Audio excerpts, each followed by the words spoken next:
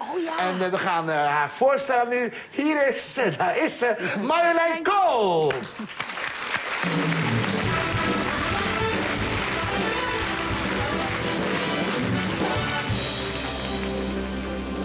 Marjolein, het is slecht gesteld met het rekenen van eh, niet alleen van de kinderen... maar ook het rekenen van de leraren op het basisonderwijs. Ja, maar dat mag je zo niet meer zeggen, hè? Hoe moet je het dan zeggen? Ja, het glas is half vol of het glas is half leeg. En waar wil je naar kijken?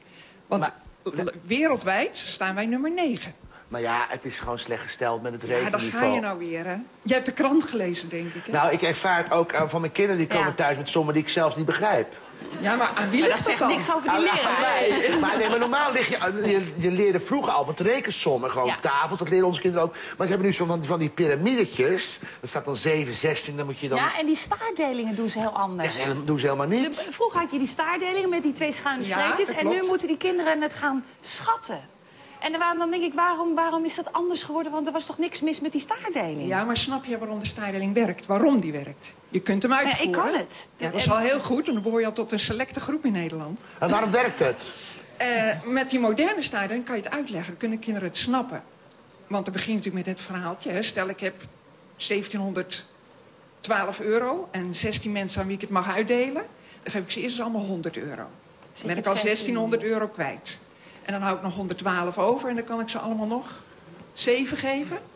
Nou, dan heeft ieder 17 gekregen. En zo werkt een beetje de moderne staardeling. Dus aan de hand van voorbeelden ga je eigenlijk leren rekenen. En vroeger was het gewoon heel sec gewoon eh, een, een cijfer. Ja, waarom, waarom het is zo, Nee, zeiden ze de. Ja, meester deed waarom, het ja. voor, toen meesters, nu juffrouw. Ja, op het bord. De meester doet het voor en dan, jongens, tien keer nadoen. Of twintig keer. En dan vergeet je het weer een beetje. Nou, nog eens een keer tien keer. Maar jij organiseert het Nationaal Rekendicté. Ja. Wanneer is dat? Eh, de finale is 20 november. En wat gaat het inhouden, dat Nationaal Rekendicté? Nou, we hebben eerst de voorronde gehad via het internet. 16 eh, regionale dagbladen hadden een internetvoorronde. Daar hebben 7000 mensen aan meegedaan. Ach, En eh, nou ja, er zijn mensen die hebben dat foutloos gedaan. Het is verbijsterend hoe mensen kunnen rekenen in Nederland. 70 daarvan gaan naar de finale. Er is ook nog een PABO-voorronde geweest. Dus Maar dit zitten- is dus voor mensen die heel goed kunnen rekenen, Ja, die, die zijn wel heel erg goed hoor. Oh, oké. Maar er zitten ook pabo's. Ja, maar die mag ik natuurlijk niet zwart maken, want het zijn mijn eigen studenten, want ik werk op een pabo. Maar die zitten er ook. Scholieren hebben ook een voorronde gewonnen. En de prominenten, want het is een Zwolle, dus prominenten van Zwolle en omstreken. Zijn die er? Ja, Die zijn er. Ja, de, de directeur van de VVV en de wethouder. ja, de directeur van de VVV, Ja, die kent hem niet. Hoe heet hij? Geen idee. Jan Veen. Zou kunnen. Die woont toch in Zwolle, Jan Veen? Nou, dan moet die eigenlijk meedoen. Marga Nee. Bult? Marga Bult, die woont niet in Zwolle, die woont in Almelo. Die woont daar wel in. Die buurt bij Almelo of Engelo of Dingelo of eh, weet ik veel. Maar Maar misschien... luister, nou, eh, ik Cor misschien... Bakker wil iets vragen aan jou. Ja, nou, Nou ja, ik zit, kan al, goede vragen ik zit al jaren met een, met een sommetje waar ik niet uitkom. Nee, dat is echt waar. Stel, Linda, Paul en ik gaan naar, de, naar een kroeg. En we nemen ieder een Dat, tientje. dat zal niet zo snel Nou, ja, voorkomen. je weet We nemen allemaal een tientje vrienden. mee. 10 Ja? euro. Je gaat gelijk rekenen. Oh, Ja. dat is We is heel allemaal een tientje. Ik ook. Een tientje mee, ja? 30 euro, Paul. We- ja, Ja. Dan nemen we een drankje en een bitterballetje. Uiteindelijk vragen we de rekening. Ja? En die man die, re- die telt het op. Die zegt, nou, dat is 30 euro. Nou, dat komt mooi uit. Ieder tientje, we lopen weg. Ho, zegt die man, sorry, ik heb een vergissing gemaakt. Het is 25 euro. Sorry hoor. En hij legt vijf losse euro op de toonbank. Dus ja, hoe moet je het nou verdelen met z'n drieën? Dus we pakken ieder een eurotje en geven die man 2 euro fooi. Ja. Tot zover duidelijk, hè? Ja. We komen dus thuis met 1 euro. We hebben dus de man, de vrouw, 9 euro uitgegeven. Ja? 3 keer 9 is 27, plus 2 euro fooi is 29 euro. Nee, Waar ja. is die euro gebleven? Ja, Ja. hoe zit dat? De politie vraagt zich. Weet je een oplossing? Weet je een oplossing zelf ook? Nee, weet je wat zo erg is? Ik ken hem en ik weet niet meer hoe het zit. Ze hebben het mij ooit eens uitgelegd, maar het is niet genoeg geoefend, hè? Dan zie je het. Maar zullen we dan dit uitstellen tot volgende week? Dat we daar volgende week een antwoord op, eh, op Ja, geven? dan leuk als finale vraag bij dat eh rekendicté. Ja, 20 november. Goed idee. En dan kun je volgende week kun je misschien het antwoord komen geven. Graag. Zullen we dan bijvoorbeeld... Zou dit leuk zijn als wij nu... Een, eh, klein, een klein wedstrijdje doen. Dat is een heel goed plan. Dat jij gewoon een niet, niet te moeilijk hoofdrekensommetje erop Wacht, gooit. voordat we dit gaan doen, En dan zeggen, kijken wie het worden we allebei weer wakker. Dan hebben we weer de kijkcijfers. Dan zie ik natuurlijk weer... Land of Linda Hummel. Eh, Oké, laten we het sommetje maar doen. Ik heb namelijk al weten antwoorden al. Niet te moeilijk, hè? Nee, nou moet je luisteren. We verpakken altijd die sommetjes. hè. Het zijn eigenlijk denksommen. Oh, dus er zit daar een ben verhaaltje in. goed Nou, in. en speciaal voor jullie heb ik dus een verhaaltje over Linda en Paul. Ik begin er met eentje over Paul.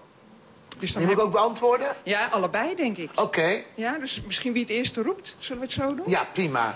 Nou, Stefan, de man van Paul, dat klopt, hè? Ja, Die hoe loopt- schrijf je het? PH. Ik heb hier PH. maar- Heel goed, heel goed. Mag ik even één vraag stellen? Even naar de eindredactie. Kunnen we Maria Mena niet opnemen en volgende week uitzenden? Nee, ik weet niet. Laten we even overleggen. Ga door. De snipper. Stefan heeft een marathon gelopen. Ja. In New York. Ja. Nou, stel je voor. 100 meter voordat hij de finish genaderd is, ziet hij jou staan. Ja. Jij staat 200 meter achter de finish.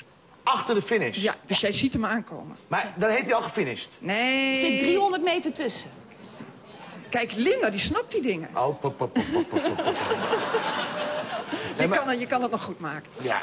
Dus jij staat 200 meter achter de finish. Stefan staat 100 meter voor die finish. En jullie lopen naar elkaar toe. Eh, Stefan loopt met een snelheid van 4 km per uur. En jij loopt met een snelheid van ze- eh, 5 km per uur. Als jullie elkaar ontmoeten, wie van de twee is dan het verst van de finishlijn verwijderd? Paul? Ziet u de rimpel? Ja, dat is niet goed daarvoor. Linda zegt Paul. Als hij voor de finish bent, ik ben na de finish... En je Maar jij klopt- loopt 5 kilometer Maar dan per mag uur. ik. Ja, maar als, je voor, als je voor en na, dan, dan, is, dan kom je elkaar altijd op hetzelfde moment tegen.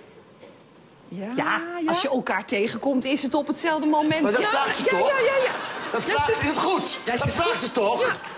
Ze vraagt... Je komt elkaar altijd tegen, maar niet uit waar. Ja, je wordt...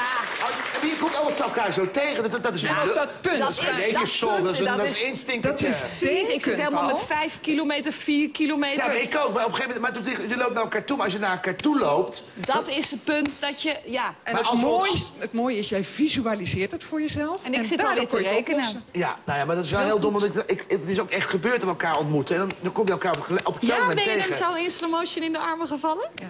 Met een muziekje erachter. Wat lief. Nee, ik zei alleen eh, succes. Wij moesten de medaille nog halen. Nog één vraag. Ik dacht meer gewoon 189 keer 3 of zo. Ja, ik, ik snap dat je zat te rekenen, maar dat is Ja. de juiste instinker. Ja. Nou goed, nu Nou, nog hier heb ik er eentje waar je wel bij mag rekenen. Ik ga even zeggen, we gaan vast afscheid nemen. Maria Menen gaan we volgende week uitzenden. Dat gaan we opnemen met een interviewtje. En dan ben je al weg, gaan we volgende week uitzenden. En eh, me- misschien kunnen we achter het even met haar regelen. Wij zien elkaar volgende week weer met nog veel meer gasten en veel meer dingen. We gaan nu even de som doen en dan kijken of, de, of Linda het antwoord weet. Dat hoop ik ook. Je mag rekenen, Linda, nu wel. Linda ziet in een folder een paar schitterende laarzen staan. Voor 100 euro. Ze rent naar de winkel, maar dan blijkt dat ze net 10% in prijs verhoogd zijn. Nou, laat dan maar zitten, zeg jij. Dan wil je ze niet. Dus je gaat naar huis, wat een geld. Ja, 10% verhoogd. ja dus ze, zijn, ze waren 100 euro, maar ze zijn 10% in prijs verhoogd. 110, 110, 100. Dat had ze al lang begrepen. Een paar weken later, opruiming en op de winkelruit staat 10% korting, alle laarzen. Dan ga je ze kopen. Wat heb je nu betaald? 99 euro. 99 euro. Ja, zo was eerder. Maar het was goed. Oh, heel erg goed. 99 euro, wij zijn er volgende week weer. Bedankt. Linda, heel erg bedankt. Geef jullie een mooi applaus. Heel erg bedankt.